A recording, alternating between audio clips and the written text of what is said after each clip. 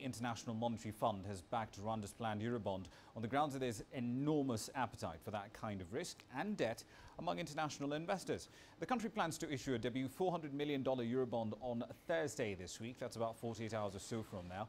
Out of the money, $120 million will be used to repay an outstanding loan on the Kigali Convention Center, as well as retiring another outstanding loan that was to acquire the finance of the expansion of the national carrier Rwandair. Rwanda becomes the first East African country to issue the bond after Kenya postponed a planned billion dollar Eurobond to get the March elections out of the way.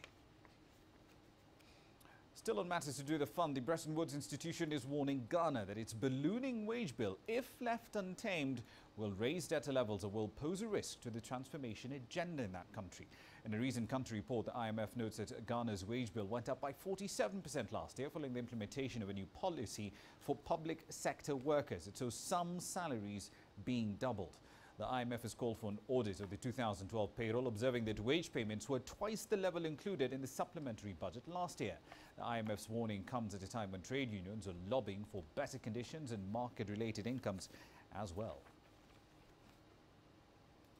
And we've certainly seen a similar debate going on with the fund and the Kenyan government in the last couple of years. The Banking Association of South Africa, in the meantime, BASA, as it's better known, which represents the country's lenders and its members, may implement changes to unsecured lending rules by May this year.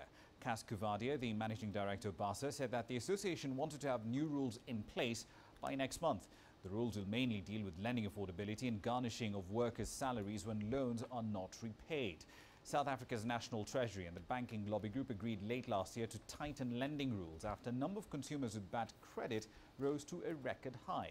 Additionally, a rise in loans not backed by assets also led to concerns that a credit bubble could potentially be developing. The country's national credit regulator reported unsecured loans granted in the fourth quarter went up at least 2% to some $2.8 billion from September to December last year.